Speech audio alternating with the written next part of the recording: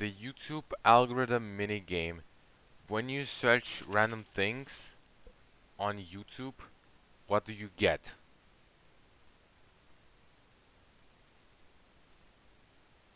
Boops.